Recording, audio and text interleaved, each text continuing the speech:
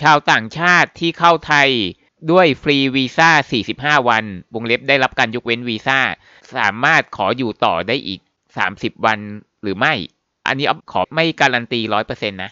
อยากให้เพื่อนๆที่แฟนได้เข้ามาด้วยฟรีวีซ่า 45 วันแล้วเนี่ย ก็อยากให้ช่วย confirm นิดนึง ถ้าใครได้ไปต่ออายุมาแล้ว เราสามารถต่อได้ล่วงหน้าถึง 45 วันเลยนะ ก็หมายว่าไม่ต้องรอจนใกล้หมดก็ได้ หรือลองโทรถามตอมอดูก็ได้ หรือยังไงว่าโอเคตกลงมันได้ไหม ก็คือเราเคยได้ยินจากสถานทูตบางแห่งว่าถ้าเข้ามาด้วยฟรีวีซ่า45 วัน 45 วันเนี่ยไม่สามารถต่ออายุได้ แต่ออฟก็มีความพยายามในการไปถามตอมออยู่หลายรอบนะ ก็ได้คำตอบที่บอกว่าได้มาหลายครั้งแล้ว อันนี้คือครั้งล่าสุด แล้วเขาก็อธิบายมาละเอียดมากขึ้น ก็เลยคิดว่ามานำเสนอได้นะครับ แต่ก็ต้องการคำ confirm ของคนที่ได้ไปต่ออายุมาแล้ว แล้วก็ยังไงคนที่สงสัยก็ลองเลื่อนไปดู comment นะนะครับ ก็คือตามคำถามเนี่ยคือฟรีวีซ่าเนี่ยอของเดิมเคยได้ 30 แต่ว่าในช่วงโควิด ทางไทยเพิ่มให้อีก 15 วัน เพราะรวมวันกักตัว ก็เลยจะเป็น 30บวก15 เป็น 45 แล้วก็ เราเคยได้ยินว่าต่อไม่ได้ แต่ตรงนี้ตอมอเขา confirm ว่าต่อได้อีก 30 วันตามคำตอบนี้ ก็คืออ๊อฟถามว่าชาวอเมริกันเข้าจริง ๆ รวมประเทศอื่นด้วย เพราะว่าได้รับการยกเว้นเข้าไทยโดยไม่ต้องขอวีซ่าได้ 45 วัน 56 ประเทศที่ได้รับการยกเว้นนี้นะครับ ไม่ใช่ทั่วโลกนะอ่าแล้วก็คือต้องเช็คดูนิดนึงว่าถ้าเป็นประเทศฝรั่งอะได้หมด ครบถ้วนแล้วก็ประเทศดัง ๆ ในเอเชียทั้งหลายได้หมดครบถ้วน แต่ว่า ถ้านอกเหนือจากนี้ต้องเช็คดูนิดหนึ่งว่าประเทศตัวเองอยู่ในรายชื่อ 56 ประเทศที่เข้าไทยโดยไม่ต้องขอวีซ่า 45 วันหรือเปล่า ครับ ก็ตอนนี้เขาบอกว่าคนต่างด้าวสามารถขออยู่เพื่อการท่องเที่ยวได้อีก 30 วัน ก็คือจะต้องมาต่ออายุ เอ่อ ไม่จำเป็นต้องมาที่กรุงเทพก็ได้ มาไปที่ตอมอที่อยู่ใกล้บ้านตอมอประจำจังหวัดได้หมดเลย แต่ตามตัวอย่างนี้เป็นกรุงเทพเท่านั้นเองนะครับ แต่ที่ตอมอในจังหวัดที่อยู่ใกล้เราก็ได้อ่าแล้วทีนี้ อันนี้ตัวอย่างกรุงเทพนะ ถ้ากรุงเทพเนี่ยก็คือมาใช้ที่ตามสถานที่นี้ที่ไม่พูดชื่อแล้วกัน เพราะว่าอาจจะเขาบอกว่าศูนย์บริการชั่วคราวนี่ใช่ไหมอาจจะมีการเปลี่ยนแปลง แต่ว่าส่วนของเอกสารที่จะใช้เนี่ย ก็มีอยู่แค่นี้เองก็คือแบบคำขอตอมเจ็ดนะครับ เดี๋ยวจะบอกอีกทีหนึ่งตอนท้าย แล้วก็สำเนาหนังสือเดินทาง แล้วก็ตราประทับที่ได้รับการอนุญาต แล้วก็บัตรตอมห ก็คือบัตรที่เราได้ตอนที่ลงเครื่องอะ่ะ แล้วก็รูปถ่าย4คูณ6เซนติเมตรที่ถ่ายไว้ไม่เกิน 6 เดือน ก็ไปหาถ่ายที่ที่ร้านรับถ่ายรูปก็ได้ บอกว่าถ่ายไปขอต่อวีซ่าหรืออะไรอย่างเงี้ยนะ เออแล้วก็ค่าธรรมเนียมเพิ่มเติมอีก 1,900 บาท แล้วก็ถ้าเป็นของกรุงเทพนะ ที่ที่อื่นเราไม่รู้นะ ก็ให้จองคิวออนไลน์ใช่ไหมเดี๋ยวมีหลักฐานอีกอีกขั้นหนึ่งว่า ตรงนี้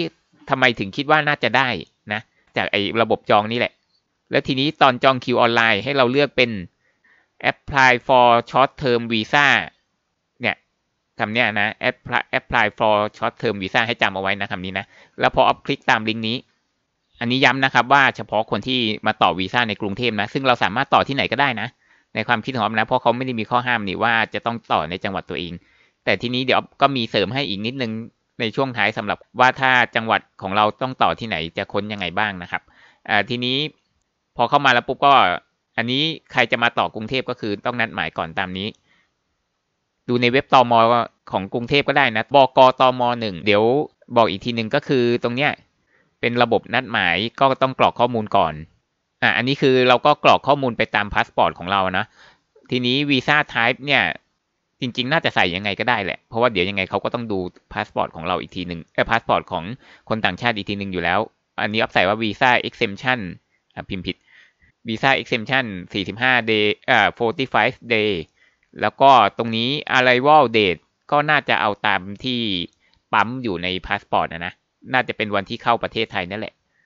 เสร็จแล้วก็นี่เลย next แล้วก็ขั้นตอนที่สองก็คือเลือกวันนัดหมาย แล้วตรงเนี้ยที่บอกว่า เนี่ย objective slash counter เนี่ย ก็คือให้เลือกประเภทใช่ไหมตรงเนี้ย ดูตรงนี้นะครับ อันนี้ที่ไฮไลท์สีน้ำเงินนี้ไว้คือที่เขาบอกเมื่อกี้ apply for short term visa นะจะแอดเมืองทองธานีอะไรก็ช่างมันเถอะ ก็คืออันนั้นคือสถานที่แต่ตรงเนี้ย apply for short term visa ทำไมถึงคิดว่าต่ออายุได้ เพราะว่าอันข้างล่างเนี้ยวีซ่าท่องเที่ยว TR คืออยู่ตรงนี้ คือวีซ่าท่องเที่ยว TR คือเราจะอยู่ในไทยได้ 60 วัน แล้วก็ต่ออายุได้อีก 30 วัน รวมแล้ว 90 วันนะครับ ซึ่งตรงนี้ถ้าคนจะมาด้วยวีซ่าท่องเที่ยว TR เขามีให้เลือกอยู่แล้ว เขามีให้เลือกอยู่แล้ว แต่ว่าเนี่ยคนต่ออายุเฉยๆที่มาด้วยฟรีวีซ่าเนี่ยมันอยู่ข้างบน แสดงว่ามันแยกกันไง ฉะนั้นไอการตรงเนี้ย apply for short term visa เนี่ยไม่ใช่สำหรับวีซ่าท่องเที่ยว TR แน่นอน เพราะมันมีให้เลือกของมันอยู่แล้ว ก็เลยคิดว่าน่าจะได้นะครับ เพราะว่าในอีเมลเขาก็บอกมานะ แล้วก็วีซ่าหมดอายุวันไหน ก็เอาตามที่ปั๊มในพาสปอร์ตนะครับวีซ่าหมดอายุแล้วก็วันนัดหมายนี่เราเลือกเองนะ เพราะว่าจิ้มไปแล้วไม่เห็นจะมีว่าว่างไม่ว่างหรืออะไรนะ ก็เลยเดาว่าคงจะได้ทุกวันนั่นแหละแล้วก็ดูช่วงเวลานั้นดิก็แค่ว่าภาคเช้ากับภาคบ่ายเท่านั้นเองนะก็คือได้สูงสุดถึงก็ปิดสี่โมงครึ่งนะครับเสร็จแล้วก็เลือกได้แล้วก็สมมติเอาเช้าไปก็ finish เลย อันนี้นะครับก็ขึ้นมาก็คืออันนี้คือใบนัดแล้วนะ ก็ปริ้นหน้านี้ไปเลย ถ้าลืมปริ้นก็ไม่เป็นไรก็นัดใหม่ก็แค่นั้นเองไม่ระบบการนัดไม่ยุ่งยากอะไรนะครับ แล้วก็ตรงนี้ที่สัญญากันไว้ก็คือสำนักงานตอมอที่อยู่ในจังหวัดของเรา มีที่ไหนหาได้จากที่ไหนบ้างก็คือ เดี๋ยวลิงก์นี้ลงไว้ใต้วิดีโอ ดูเหมือนระบบค้นหาตรงนี้เหมือนจะใช้ไม่ได้ยังไงไม่รู้นะในคอมนะในมือถืออาจจะได้ก็ได้ ถ้าเราหาไม่เจอนะ ซึ่งมันเยอะมากเลยก็ลองแบบว่าใช้เมนูค้นหา เสร็จแล้วก็พิมพ์ชื่อจังหวัดไปเลยก็ได้ เนี่ยยังออฟใช้เมนูค้นหาแล้วพิมพ์คำว่าสีสเกตไปอะก็ตรงนี้ก็จะขึ้นมานะครับ ก็ลองหาจังหวัดของเรา แล้วก็ส่วนตรงนี้หลักฐานว่าการขออยู่ต่อต้องใช้อะไรบ้างเนี่ย อันนี้เดี๋ยวลิงก์นี้ลงเอาไว้นะครับ ก็คือจริง ๆ มันได้วีซ่าหลายประเภทเลยนะ แต่อันนี้คือของของหัวข้อนี้โฟกัสก็คือ การขออยู่ต่อกรณีเพื่อการท่องเที่ยว ซึ่งรายการเอกสารก็มีมีได้พูดไปแล้วก็คือมีอยู่แค่นี้ข้างล่างนี้ ซึ่ง ที่เราต้องถามตอมอทางอีเมล ก็เพราะว่าตรงนี้จะค่อนข้างงงว่าคนต่างด้าวต้องได้รับการตรวจลงตรา ก็คือวีซ่าเนี่ยแหละตรวจลงตราใช่ไหมประเภทนักท่องเที่ยวเราก็ไม่ชัวร์ว่าจะได้เฉพาะวีซ่าท่องเที่ยว TR หรือไม่ แต่ก็ได้อีเมลถามแล้วอย่างที่บอกในตอนต้นนะครับว่าฟรีวีซ่าก็น่าจะได้ แต่รอเพื่อนๆมา confirm นะ แล้วทีนี้เราจะหาดาวน์โหลดแบบฟอร์มตอม7 หรือ T7 ได้จากที่ไหนก็จริง ๆ ที่นั่นเขาก็น่าจะมีให้กรอกนะสมมติแต่ถ้าเราจะเตรียมตัวล่วงหน้าก็คือ ก็เว็บเดิมนี่แหละตามลิงก์เดิมที่ให้ดูรายการเอกสารเมื่อกี้นี้ แล้วก็ตรงเมนู แล้วก็เลือกส่วนของบริการ ตรงเครื่องหมายบวกนี่เสร็จแล้วก็ แล้วก็บริการออนไลน์ และคู่มือสำหรับประชาชน เสร็จแล้วก็ดาวน์โหลดเอกสาร แล้วก็ตรงนี้เลยนะครับคำอนุญาตเพื่ออยู่ในราชอาณาจักรเป็นการชั่วคราวต่อไปวงเล็บตอม7แล้วก็กดดาวน์โหลด มันก็จะขึ้นมาเป็น แบบประมาณนี้นี่ไงอ๋อ TM7 แล้วไม่ใช่ T7 TM7 ก็คือตอม7ก็เป็นการกรอกข้อมูลโดยทั่วไปนะ ก็ไม่ได้มีอะไรก็ข้างบนนี้วันเดือนปีกับเขียนที่ไหนก็เว้นไว้ก่อนก็ได้ เสร็จแล้วก็ข้อมูลทั่วไปตามพาสปอร์ตแล้วก็จะมีตรงนี้คือได้โดยสารโดยพาหนะอะไรเอาคิดว่าน่าจะเขียนเป็นภาษาไทยได้นะ เพราะฟอร์มนี้มันก็ยังเป็นภาษาไทยเลย แล้วก็ทางเครื่องบินใช่ไหมก็จากประเทศอะไร แล้วก็เข้ามาทางด่านอะไรก็สุวรรณภูมิ เข้ามาตอนวันที่เท่าไหร่ แล้วก็ต้องมีบัตรตม6ก็คือที่บัตรขาเข้าขาออกที่เขาจะได้ตอนลงเครื่องมาด้วย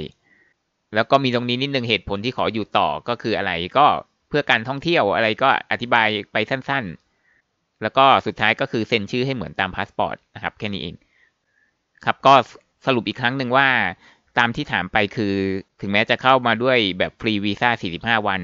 ก็จะสามารถอยู่ต่อได้อีก 30 วันตามอีเมลนี้ที่เขาตอบมานะครับ แต่ต้องการรอคนที่ได้ไปตอบมาแล้วมา confirm อีกครั้งหนึ่งนะครับ คนที่ฟังอยู่ก็ลองเลื่อนดูตาม comment ว่าเขาว่ายังไงกันบ้าง แล้วก็สามารถต่อได้ที่ตอมอในจังหวัดของเรานะครับ ไม่จำเป็นต้องมากรุงเทพก็ได้นะครับครับก็เพื่อนๆฟังแล้วออยากจะแชร์อะไรหรือคิดเห็นยังไงก็คอมเมนต์ได้ที่ใต้วิดีโอนะครับ ขอบคุณที่รับฟังนะครับ